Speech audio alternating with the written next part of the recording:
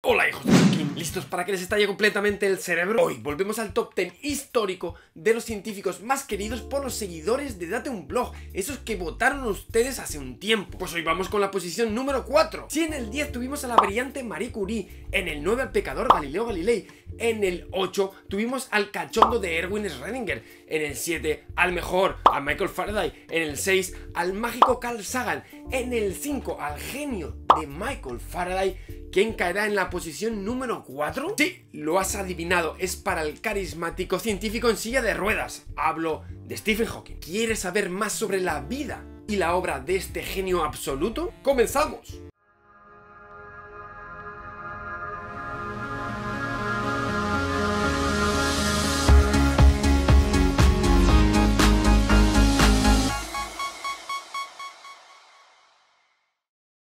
Hawking ya le he dedicado más de un vídeo hablando sobre su obra y sobre la admiración especial que tengo hacia él. Fue una persona que me influenció muchísimo en mi trabajo gracias a este libro, Historia del tiempo que escribió en 1988, que fue el libro que me inspiró a mí para seguir la carrera de física. Es por lo tanto un científico al que tengo yo un cariño muy especial. Va por ti, Hawking. De sus trabajos científicos ya he hablado en muchas ocasiones en estos vídeos que dejo por aquí, pero hoy me voy a centrar en su persona. ¿Quién fue Stephen Hawking? Stephen nació el 8 de enero de 1942, exactamente 300 años después de la muerte de Galileo. Fue en Oxford, Inglaterra, en medio de la cruenta Segunda Guerra Mundial. Stephen fue el primero de tres hijos de la familia Hawking, una familia descendiente de adinerados ingleses venidos a menos. Era una familia muy unida, intelectual e inteligente y bastante excéntrica. Sus padres eran ambos licenciados, les gustaba la lectura y la música clásica, los museos y tenían conversaciones y debates frecuentes. Vamos, que era una especie de mezcla entre los Flanders y la casa de The Big Bang Theory, ¿se lo pueden imaginar? Algo así fue la infancia del pequeño Stephen Hawking. Aunque el joven Stephen era un niño imaginativo, locuaz, autodidacta, no era una persona especialmente brillante en el mundo académico. Tardó mucho en aprender a leer, sus notas nunca fueron especialmente buenas y no destacaba en clase. En particular, era bastante perezoso, le costaba esforzarse, ya sabes, trabajar. Chicos, chicas, aún hay esperanzas, Hawking también era un cafre. De hecho, dos de sus amigos de la infancia llegaron a apostarse mutuamente a que Hawking nunca llegaría a nada. ¡Jo, tío, qué duro! ¡Qué triste! Pero a poco a poco, este joven Stephen fue labrándose una personalidad muy peculiar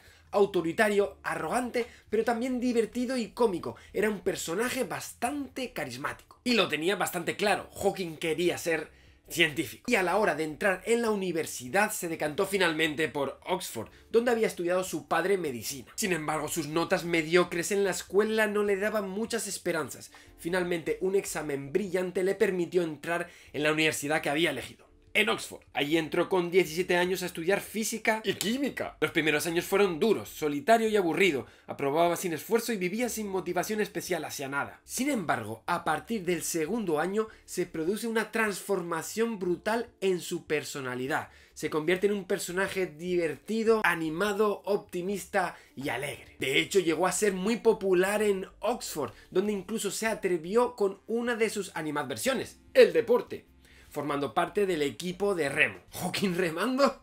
No, él hacía de timón, controlando el barco, ya sabes, la autoridad, que es lo que le gustaba a él. Vamos, que no sudaba. Donde no parecía cambiar nada era en los estudios. A esta edad ya se veía un Hawking muy talentoso para la física, pero muy perezoso. Le aburría, no suponía un reto para él y no se esforzaba. De hecho, en el Oxford de aquella época estaba mal visto trabajar duro, esforzarse. Para ser una persona popular tenías que ser brillante pero sin esfuerzo, algo que Hawking conseguía. Aún así, su sensación general como persona es que no había nada en el mundo que mereciera la pena su esfuerzo. En su tercer año eligió estudiar física teórica, en particular cosmología. Esta era una decisión particular y es que en esa época, en los años 60, se consideraba la cosmología casi como una pseudociencia. Los físicos más brillantes estaban dedicando a la floreciente física de partículas, donde se cosechaban éxitos increíbles. De hecho, esto que acabo de comentar merece un pequeño paréntesis. Estamos hablando de los años 50-60 del siglo pasado. Hacía solo 20 años que se había descubierto que hay más galaxias que la Vía Láctea, por Edwin Hubble. Aún no se conocía el verdadero tamaño del universo, su edad. Es más, hablar de algo como edad del universo era altamente polémico y es que la teoría del Big Bang no estaba generalmente aceptada. Aún nadie se tomaba en serio los agujeros negros, las supernovas y lo cierto es que la relatividad general se seguía ignorando. Se veía más como una curiosidad teórica que como una herramienta para entender las profundidades del universo los misterios del cosmos. La cosmología estaba bastante denostada y los físicos con más talento estudiaban la física de partículas. Bueno, pues en estas mismas condiciones, Hawking termina sus estudios universitarios en Oxford y se decanta por hacer la tesis en cosmología en Cambridge. Es en esta parte de la vida de Hawking donde entra una anécdota que refleja perfectamente su personalidad, la de ese genio distraído y con poco interés por la vida. En Cambridge le admiten, pero con una condición, que saque la mayor nota posible en Oxford. Como él tampoco se fiaba mucho de sí mismo, cosa normal porque era un gandul, se presenta a un puesto en el Ministerio de Obras Públicas. Hace el examen de Oxford y le sale bastante mal, y con respecto al Ministerio de Obras Públicas, se queda dormido en el día del examen y no va. En esa situación crítica, los evaluadores de la Universidad de Oxford deciden hacerle una entrevista personal para poder examinarlo mejor. Allí, Hawking les dice, si me ponen un excelente, voy a Cambridge, si no me quedo en Oxford. Así que espero que me pongan un excelente. Una anécdota que refleja muy bien ese carácter autoritario, rebelde y diferente de este joven Hawking. Así que le dieron el excelente y viajó a Cambridge a hacer la tesis en cosmología con Fred Hoyle. El primer año en Cambridge fue un absoluto desastre. Es que Hawking tenía poca base matemática y si quería entender bien la teoría de la relatividad general tenía que ponerse las pilas. Era hora de trabajar duro. Pero algo más profundo estaba amenazando con impactar en su vida. Los últimos años de Oxford había luchado por ignorar que se sentía torpe caía sin razón y se veía más lento. En Cambridge la situación había empeorado y comenzaba a tener problemas para hacer cosas cotidianas como atarse los zapatos o hablar. Su padre, preocupado, lo lleva al médico. Tenía 21 años. Hawking fue ingresado en un hospital donde hicieron unas pruebas. Tras dos semanas le dejaron ir. No sabían bien lo que tenía. Hawking dedujo que no era nada bueno. Lo que tenía es lo que se conoce como ELA, esclerosis lateral amiotrófica. Esta es una enfermedad degenerativa. Las células nerviosas de la médula espinal y del cerebro que controlan la actividad motora se desintegran gradualmente. Poco a poco tu cuerpo se va atrofiando y pierdes la movilidad de los músculos. Normalmente la esperanza de vida para estos casos es de 2 o 3 años. Suelen morir de asfixia. Los músculos respiratorios fallan. Y le pasó lo que nos pasaría a todos nosotros caer en una depresión. Es que su enfermedad avanzaba muy rápido. ¿Qué sentido tenía esforzarse o hacer la tesis? No tenía ningún interés por la vida, todo le resultaba aburrido y anodino, así que cayó en un pozo escuchando a Wagner. Pero qué curiosa y qué paradójica puede ser la vida en los momentos más críticos. Tras ese año de depresión, la enfermedad supuso un gran cambio en su vida. Si iba a vivir tan poco, se dijo, más vale que lo aprovechara. Así que se puso a estudiar. Y descubrió que cuando le dio ese sentido a su vida comenzaba a disfrutar más. En esos momentos la enfermedad no le limitaba demasiado. Podía caminar sin dificultad con la ayuda de un bastón, hablaba con normalidad y podía hacer las tareas del día a día sin ningún tipo de dependencia en nadie. Además, había entrado un amor en su vida. Pájaro. Hablo de Jane Wilde, una chica que había estudiado en su instituto. Esos años en Cambridge fueron una auténtica montaña rusa de emociones, con sus problemas con las matemáticas, la enfermedad, el enamoramiento, era una bomba de emociones. Altos y bajos, subidas y bajadas, continuamente. En el otoño de 1964, Stephen Hawking le promete matrimonio a Jane Wilde, lo que marca un antes y un después en su vida. Ahora ya tiene un verdadero motivo para vivir. Recuperó la alegría, el optimismo y se centró en los estudios. Si su cuerpo le iba a abandonar definitivamente, más vale centrar sus esfuerzos en cultivar y enriquecer su mente. Es en esos años cuando Hawking oye hablar de una novedosa teoría de Roger Penrose sobre una estrella moribunda en colapso que podría dar lugar a un lugar de densidad infinita de materia y energía, que es lo que hoy conocemos como agujero negro. Hawking pensó, ¿Y si yo rebobino esta historia de la formación de un agujero negro por una estrella que colapsa? ¿Obtendré con ella una descripción del origen del universo? Esa fue la brillante idea original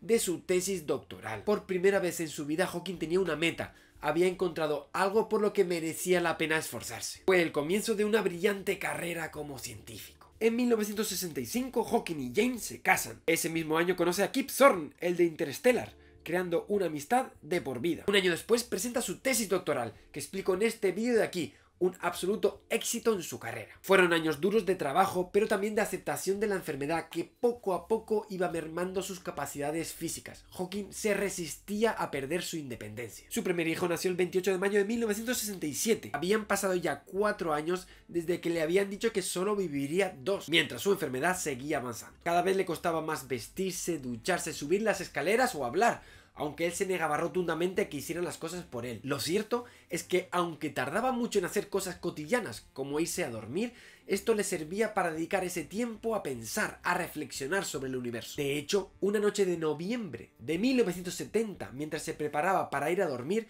tuvo una idea especial mientras pensaba en los agujeros negros. Esa noche no pudo dormir. Hawking había dado con lo que se conoce hoy como la segunda ley de los agujeros negros. Los agujeros negros solo pueden mantenerse o aumentar en tamaño, no pueden disminuirlo. ¿No le recuerda un poco esto a la segunda ley de la termodinámica, la que dice que la entropía del universo solo puede aumentar? En efecto, en 1973 a Hawking se le ocurre aplicar la mecánica cuántica para resolver este misterio de los agujeros negros. Así da con lo que se conoce hoy con la radiación de Hawking. Hawking consiguió llevar más allá la relación entre agujeros negros y termodinámica la superficie del horizonte de sucesos del agujero negro y la entropía. Es la primera ley científica que conecta la mecánica cuántica con la relatividad general. Hawking tenía tan solo 31 años. Un trabajo de genio. Había dado con una ley que permitía que los agujeros negros se desintegraran. Había transformado la forma en que vemos los agujeros negros los agujeros negros no son tan negros, también emiten luz. Y esto en una época en la que mucha gente todavía no creía en la existencia de los agujeros negros. Ahora Hawking comenzaba a ser visto como una estrella de la física. Para entonces aún seguía siendo autónomo, aunque caminaba con mucha dificultad e iba perdiendo la capacidad de mover las manos y de hablar. Aún así, mantenía su humor y se negaba a ser tratado como un discapacitado. Pero ¿cómo podía investigar así, sin escribir? Lo consiguió gracias a que era capaz de tratar las matemáticas en la cabeza, sin necesidad de escribir las ecuaciones, muy en parte porque trataba los problemas desde el punto de vista geométrico, los visualizaba en vez de resolver las puras ecuaciones. Y así la física se convirtió para él en una obsesión. A finales de los años 70 ya iba en silla de ruedas y solo los más cercanos conseguían entender lo que decía. La enfermedad avanzaba, a la par que la relación con Jane se iba complicando. En 1977, Jane entra en el coro y conoce a un joven médico, Jonathan Hellier, que se vuelve parte de la familia. Jane y Jonathan comienzan una relación romántica. En 1978, Jane se queda embarazada de Hawking y Hawking recibe también uno de los mayores honores de su vida, conseguir la cátedra lucasiana de matemáticas de la Universidad de Cambridge, la misma que ostentaron Newton o Dirac, mientras sus capacidades físicas iban de peor en peor, alcanzando ya un límite, aunque el punto de inflexión se da en 1985, en Ginebra, en una visita al CERN. Allí contrae neumonía, es hospitalizado y se mantenía en vida conectado a una máquina. Jane tiene la difícil decisión de desconectarlo y dejarlo morir o arriesgar en una difícil operación. Sería una traqueotomía, una operación que le dejaría definitivamente sin habla. Él podría seguir respirando, pero por un agujero permanente que le harían en la tráquea. Comenzaba un nuevo día a día, tendría que comunicarse moviendo las cejas. Y al rescate llega la ciencia, bueno, la ingeniería. Un experto en informática, Walt Wolters, desarrolló un software para ayudarle a comunicarse, el Equalizer, que disponía de un sintetizador. Es este cacharro el que ha dado lugar a la famosa voz metalizada de Hawking, esta. Con entrenamiento, Hawking consiguió comunicarse a la velocidad de 15 palabras por minuto, gracias a un ratón con el que iba eligiendo palabras. Era el momento de contratar a un equipo de enfermeras que estuvieran completamente con él las 24 horas del día.